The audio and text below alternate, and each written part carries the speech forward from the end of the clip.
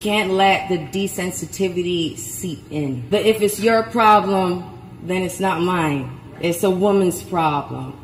It's a black people problem. It's a poor people problem. I mean, how many of us in this room have colleagues and partners and friends from other races, sexes, religions? Show of hands. Well, then, you know, they want to break bread with you, right? They like you. Well, then this is their problem too. So when we're marching and protesting and posting about the Michael Brown Juniors and the Atatiana Jeffersons of the world, tell your friends to pull up. I've just been here. I'm just down by the whole George Floyd situation. And I knew I have to post about this because I have to use my voice and I have to use my platform. And although I'm a happy go lucky, goofy person from time to time, when it's time to get serious and talk about real stuff, we all need to stand up and talk about that real stuff. Now, I'm gonna post some clips about the man that everybody's talking about. And if you haven't seen it already, watch it because you need to know what's going on in this world. Stop avoiding the news, stop avoiding what's going on. Let's talk about real stuff. Here, and this was in part came from the swift action we saw this police department tape. Let's remember, this just happened yesterday, and within 24 hours, all four of the officers involved with this have been fired. I mean, we've seen, sadly, many of these. This is live for us in Minneapolis. And Omar, uh, give us the details from the press conference with the police chief. Well, the press conference with that police chief, one of the big things he was trying to call for was the, a push for trust between the police and the community. You couldn't watch it, could you? Neither could I. So I didn't put that video in because actually it is horrendous to see somebody being murdered on broad daylight, on news, on television, uncensored, with the person's face there. It was horrible. I did not want to see that. If I could, I would have never seen it. But I put on the news and there it was. There it was full screen. Couldn't even, couldn't run away from it. It was just there. And this is a crazy thing. You know, the day after there were protests, right? They were protesting against this police brutality. And one lady said, What are we going to do about this? White people that are here at this protest right now, what are y'all gonna do about this? And I was just thinking to myself, the problem is this it's very hard to know what we can do about this. Be it white, be it black, because as Rihanna said, pull up. If you are white and you have black friends, or you like black people, or you're just a normal human being that likes all people, pull up. Something has happened, it wasn't fair, pull up. If you're Asian, the same. If you're from whatever, whatever your background is, we are all humans, right? And most likely you have friends from other cultures, other backgrounds, right? So if something happens to their people, pull up. Pull up, say something. Don't pretend it's it's it's nothing, right? But we need to educate ourselves. We need to know what's really going on. Then we need to make it that we're not just posting online on Instagram, tweeting, and all these type of things because ultimately that creates awareness. But the people that need to be aware are asleep.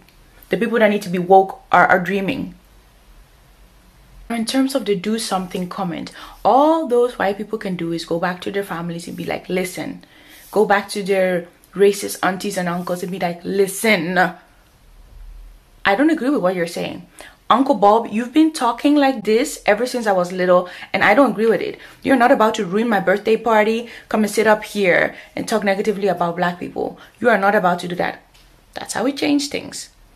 And I'm not just saying white people. We all have to do this because in every race there's these prejudices we have to do this all around so that we can all start to see each other as human beings right but in this specific case those white people that this lady was referring to at the protest this is what they can do other than that are we forgetting the fact that people were recording people were recording as this man was dying and they couldn't do anything I don't know if we saw everything, but I've seen a lot of videos. And not once did I see one person say, hey, stop it or go towards the police. Why? They scared of the same police. They scared of the police. They know that a policeman that can put his knee on a man's neck till he dies or he's in even distress, in as much as distressed as George was in, that this police would not hesitate one second. So then what can be done about it? Well, if you know a racist person, you need to confront them. We need and it happens in very tiny little ways.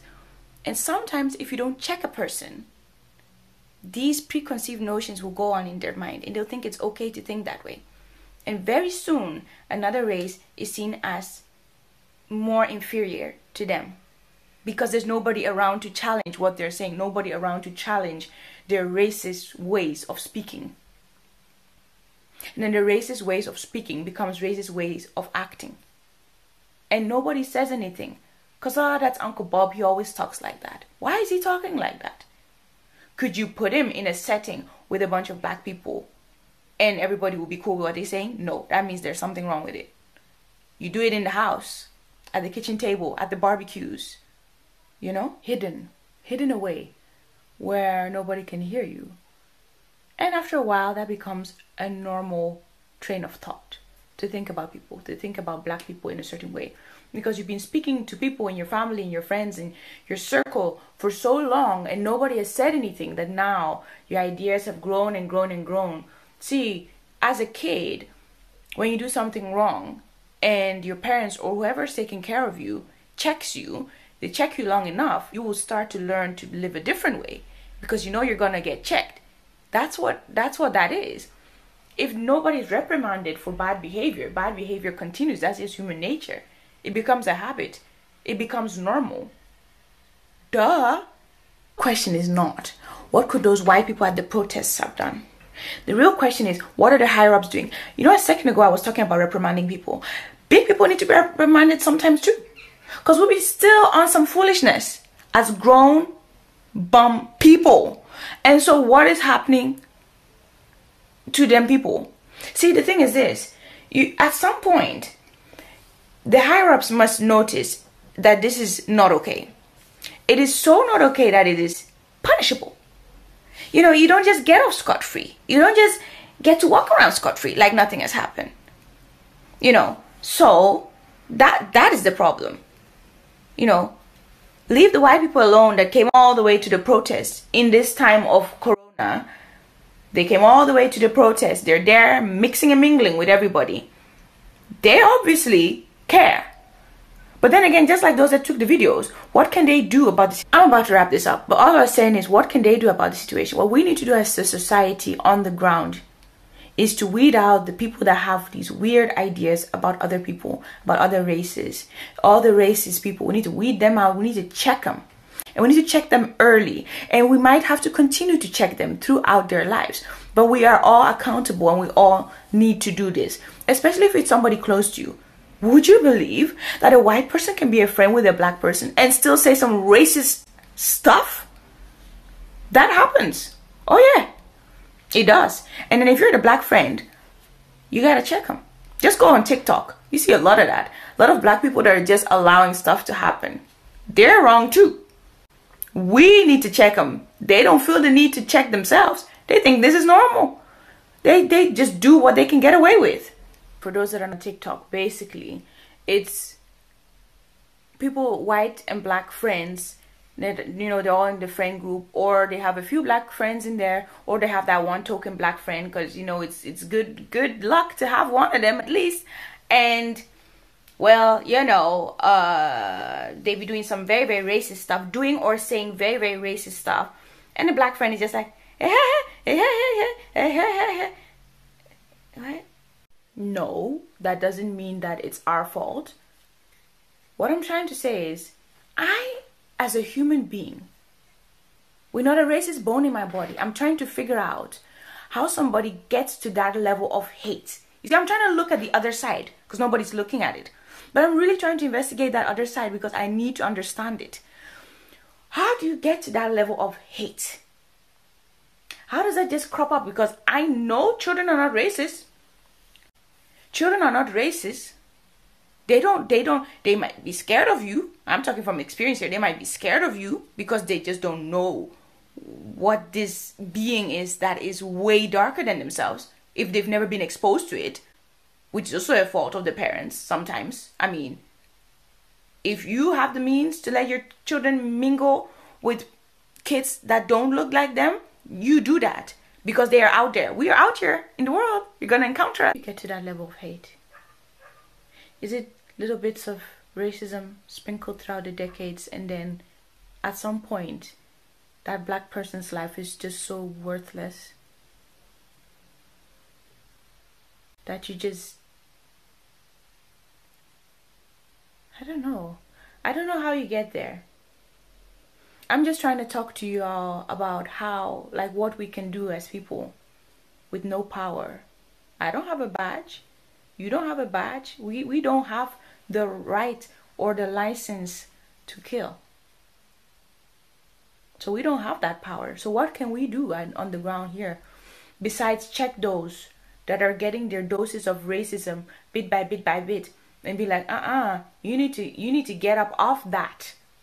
Because that's a problem. We can't let that fester inside of you. You need to let go of that racism. Because that's that's ultimately what accumulates to having somebody do such a heinous thing. Is that it? Is it racism? Or are we going to hear a few days down the line that, oh no, this person had loads of black friends? Oh, they went to a black church. Oh, they grew up and their best friend was black. I don't know. Things will start to come out to the surface and you just be like, wow, okay. So so now so now what do we do? Because now any human knowledge I thought I had is all out the window. If it's not the racism thing, then I don't know what it is. I am just trying to think because I I I'm not racist, so I don't know how these things work. I I I don't know how you get to this level of hate. Um, this level of getting a power trip. and How you solve this is that the top needs to ensure that people who do these type of horrible crimes that they don't just get away with it. See if you can get away with things and history has always shown that you were able to get away with certain things. You always try to push further and see if you can also get away with this thing. In fact, it's not even a question. You already know this is a fact that you will get away with this thing because history has shown you that that's always been the case. And nothing at that present moment in time is showing you that that will not be the case again this time. So why wouldn't you test the waters? In fact there's no waters to test because it's a fact that you will get away with this thing. You will get away with these heinous crimes and there will be no no zero consequence. In closing that is what needs to change. There needs to be consequences. There need to be consequences for these heinous crimes that happen. That is how we're going to combat this. It starts from the top. And we can do our bits here, like I've mentioned. But this has to start from the top. I've got nothing else to say. But just to say, George Floyd, rest in perfect, perfect peace. I hope, I really hope that this is the one where we are like, this is enough. We conduct ourselves differently and we start to make a change. Because this cannot go on.